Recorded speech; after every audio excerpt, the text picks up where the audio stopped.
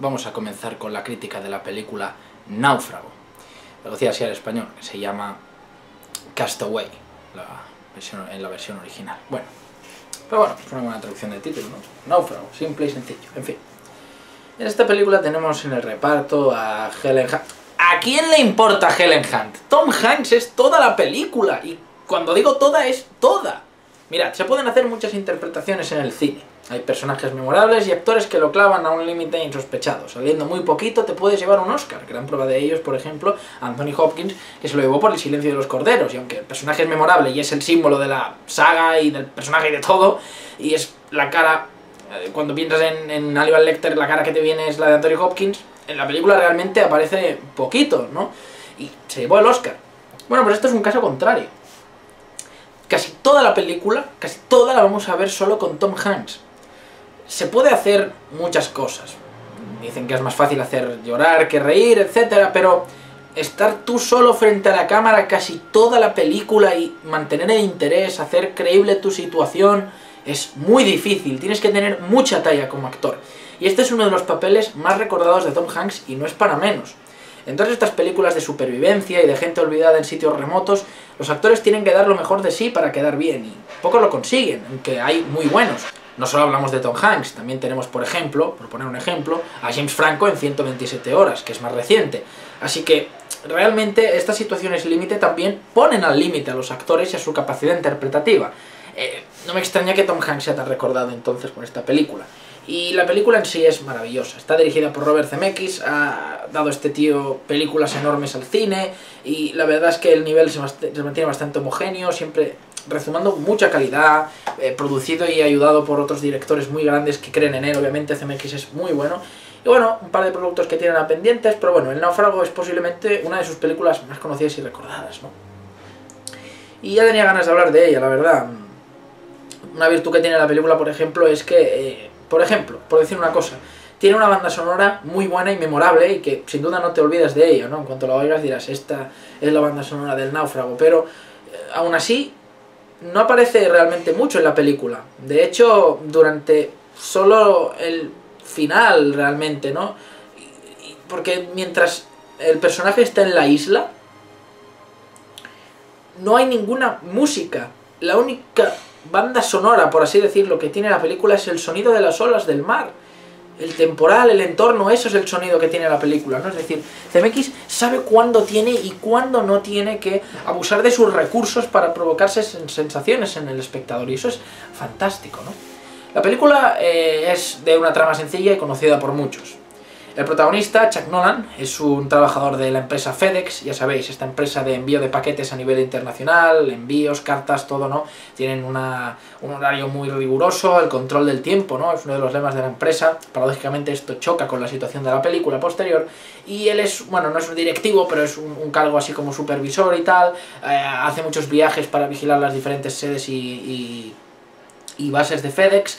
Y bueno, mm, tiene una vida bastante ajetreada, movidita, pero bueno, con su familia, o sea, bueno, su, mujer, su, prometida, no se han casado aún, y tal, y bueno, el tema es que un día, en un viaje, va en avión, transportando unas cosas, eh, justo en Navidad, eh, bueno, le hace así como el de esto de nos vamos a casar a su mujer, pero no le dice casémonos, pero se sube al avión y lo que ocurre es que hay turbulencias en medio del mar, hay una tormenta muy fuerte, el avión empieza a, moverse de lado a lado, las cosas se caen, hay fallos eléctricos y bueno, esa secuencia es impresionante, mirad que tiene momentazos la película al final, en medio, porque lo que más se recuerda de la película es cuando él ya está en la isla, quiero decir, ¿eh? pero ya en el avión la secuencia de la caída es impresionante, ¿eh? todo el agobio, el, o sea, hay caos, pero te enteras de todo. Eso, yo creo, mira, eso, eso es algo que me molesta mucho a mí en el cine. O sea, no puede ser que eh, porque en la escena haya caos, justifiquemos que haya caos para el espectador. Es decir, no puede ser que haya una pelea, que haya velocidad, que haya un choque, que haya lo que sea, y que el espectador solo vea meneos borrosos de cámara, ¿vale? Aunque no sea muy relevante lo que pase, el entrenador tiene que enterarse de lo que ocurre. Vale que no es igual de tenso y rápido el aterrizaje forzoso de este avión en esta película que escenas de persecuciones y tal en otras, pero joder, eh, chicos, eh, no podemos ser tan pachangueros, en plan de, mira, es que como hay tensión y tal, se ve todo borroso y movido, eh, a ver, porque por ejemplo, en los Juegos del Hambre, vergonzoso lo que hizo el director en la primera película, no puede ser. En la escena en la que salen a, al claro a luchar y a Katniss y todos están ahí, empiezan a correr, ¿cómo puede ser tan incompetente el director en hacer esos movimientos de cámara de borracho? Hostia, el director de fotografía no se preocupa por eso, eh, yo entiendo que el director es el que tiene la última palabra, pero...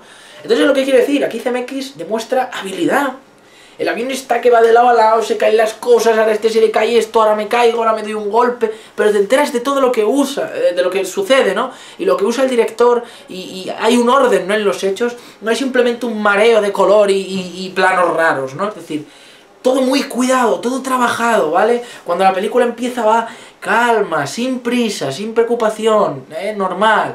Y luego el accidente todo es velocidad y adrenalina y sonido y, desorientación, pero que te enteres de lo que pasa, ¿no? Y luego en la isla es como insólito, en medio de la nada, calma total. Es decir, CMX sabe llevar el ritmo, sabe llevar la música, sabe crear eh, momentos de emoción buenísimos, te hace reír, te hace llorar, te hace sentirte solo en la isla, te hace sentirte como el personaje de Tom, de Tom Hanks, abandonado, ¿no? Abandonado a su suerte, cuando tiene que hacer, eh, jugar con la luz y con la noche, con el fuego, con el sol, con las nubes, con, las, con todo, es decir, retrata con realidad y tal, es decir, se podría ser más minimalista o no, pero la película es correcta y más que correcta y súper bien, y súper bien que lo hace todo CMX en la película.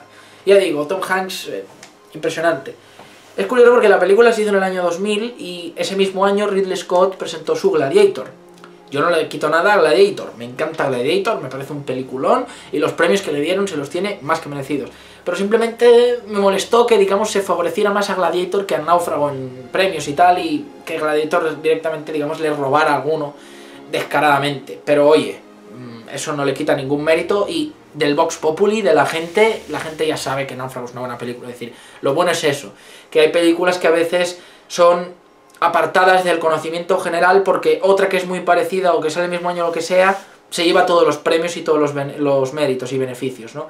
Es algo que le pasó mucho a, a la película de Truman Capote, ¿no? Es decir, eh, había una película que se llamaba Capote, muy premiada, reconocidísima, eh, película impresionante, y simplemente negaba cosas de la realidad, eh, era un poco en algunas, en, cierto sentido mejorable. Entonces hicieron otra poco después, de, también de la misma historia, de Capote, de A Sangre Fría tal, eh, no recuerdo el título, la critiqué, y esa salió como el mismo año, era la misma historia, y el actor lo hacía mil veces mejor, y, la trama se llevaba con naturalidad, y no ocultaban la homosexualidad del, del protagonista, eh, Historia de un crimen se llamaba, se me ha olvidado. Y, como la otra salió un poquito antes y se llevó los premios, a la otra no le hicieron ni puto caso, y es una pena, ¿no? Y le ha pasado con esto a muchas películas, por ejemplo, ¿eh? aunque sean temáticas distintas. Llegó la película de ET, el extraterrestre, de Steven Spielberg, y wow, todos, la película era para todos los públicos, era de fantasía, era linda, era Hollywood, efecto Spielberg, era todo guay. Y el mismo año también llevó otra película de alienígena muy distinta, que era La Cosa The Thing, ¿no? De John Carpenter. Y, de las dos, ¿cuál creéis que fue que tuvo más tirada? Pues E.T. ¿Por qué? Porque era una película que podía ver todo el mundo. Eh, la cosa siempre ha sido una película de culto, ¿no? Y cuando llegó al cine la gente dijo, ¡hala, qué salvajada, ¿no? Quizá un poco hasta avanzada su tiempo, ¿no? Y, y, bueno, y quedó olvidadita, pero a ver, es una obra de culto y se tiene su reconocimiento más que justo hoy en día con la película, pero de, bueno, digo en su momento, ¿no? Y con el náufrago, pues, pues igual Gladiator se la comió un poco en premios, pero nadie nunca le ha quitado su reconocimiento ni nada, que es lo bueno, ¿no? Ha tenido esa suerte. Se ha reconocido el gran talento de Hanks y de CMX en la película, etc.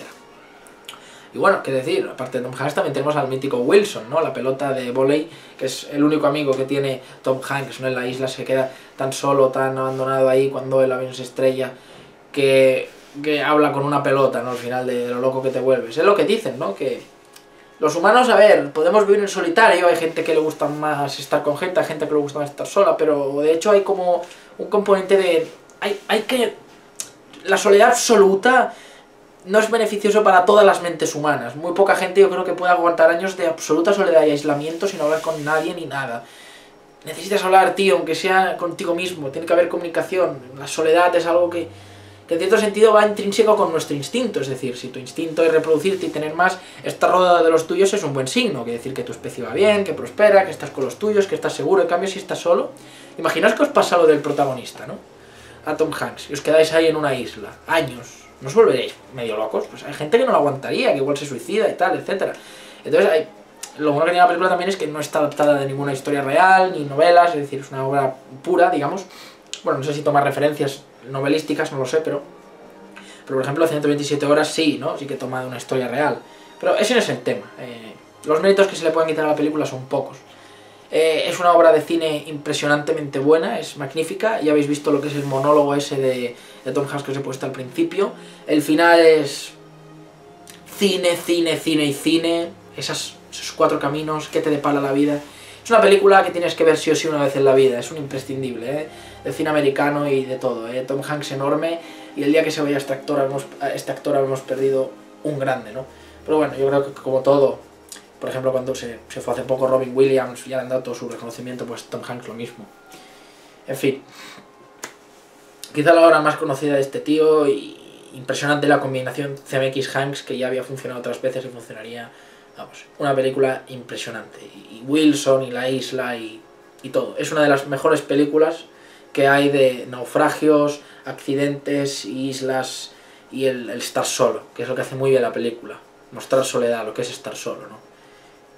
En fin, instinto de supervivencia humano y es fantástico. Yo creo que en estas situaciones en las que se reduce al humano algo tan simple, algo tan básico, y nos dejamos de posesiones y de dinero y de tecnología, yo creo que aquí es cuando realmente eh, te sale lo verdaderamente, lo verdaderamente humano de dentro, ¿no? Estas situaciones límite, tan, tan poco comunes, ¿no? Ya que estamos rodeados de, de seguridad y de beneficios por todas partes, ¿no? En fin, si, si al menos no eres...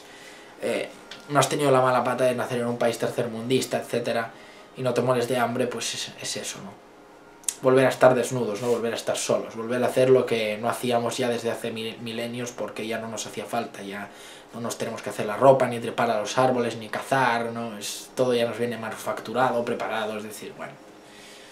Una genial película, de verdad, una genial película. Y me paso por el forro de los cojones, así de claro os lo digo, todos esos argumentos de, oh, es que le hace publicidad a FedEx y tal. La publicidad en el cine ha existido siempre, y a mí me parece muy bien la analogía que se hace con FedEx. Además, ¿quién podría tener nada en contra de FedEx? Es un servicio, una multinacional de mensajería normal corriente, como Seur, como cualquier otra, así que, quiero decir...